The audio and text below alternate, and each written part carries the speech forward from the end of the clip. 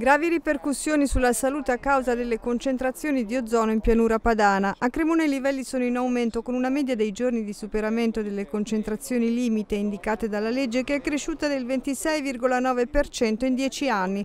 Seguendo gli ultimi dati ISPRA e Istat, nel 2019 a Cremona i livelli sono stati superati per 95 giorni, mentre a Crema addirittura per 122. La quota limite per la protezione della salute, fissata a 120 microgrammi per metro cubo sulla media di 8 ore, ore. L'anno scorso è stata superata a Cremona per 59 giorni, mentre le concentrazioni sono passate da una media di 52 microgrammi al metro cubo nel 2010 ai 66 dell'anno scorso, un aumento che rappresenta una magra consolazione di fronte al superamento spaventoso registrato da Piacenza che sfiora il 194,1%. Per una volta dunque Cremona cede la sua maglia nera senza tuttavia farsi mancare gli effetti sulla salute.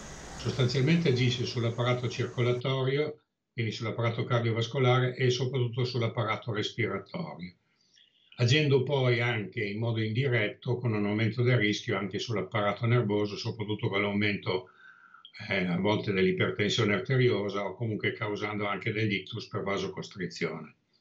Ma gli effetti più evidenti e più studiati anche sono quelli sull'apparato respiratorio.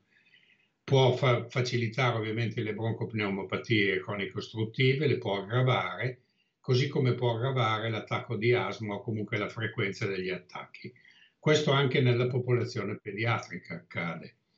E poi ha una pesante interferenza anche con le cellule del sistema immunitario, soprattutto quelle del sistema immunitario innato, che sono le prime nelle vie respiratorie a difenderci.